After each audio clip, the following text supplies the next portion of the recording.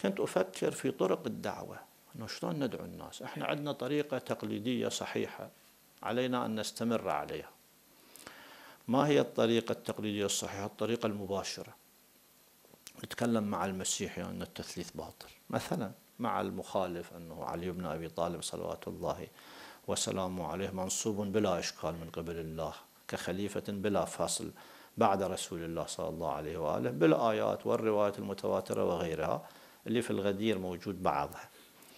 والمراجعات وما أشبه ذكر بعضها أيضا إشارات إليها وليالي بشاور وغيرها. وهذه طريقة مباشرة. أكو طريقة غير مباشرة.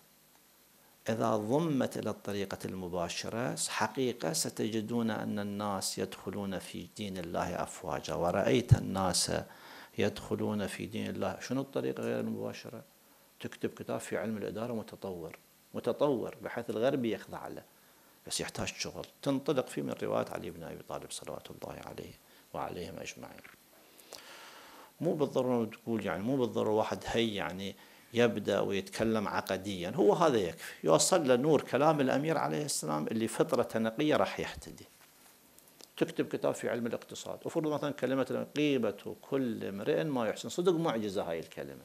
يعني واحد إذا يتكلم عنها 500 محاضرة بعد قليل. معجزة معجزة بما للكلمة من معنى.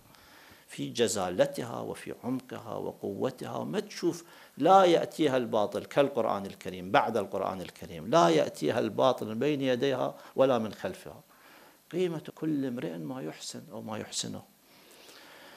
إذا واحد يكتب كتب في علم الاقتصاد في علم السياسة في علم الإدارة في علم الحقوق في علم التربية.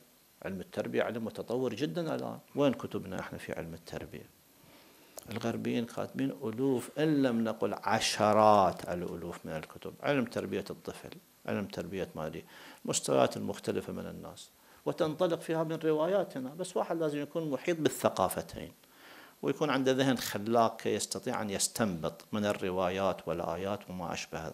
أفضل طريقة للدعوة. أفضل طريقة للدعوة.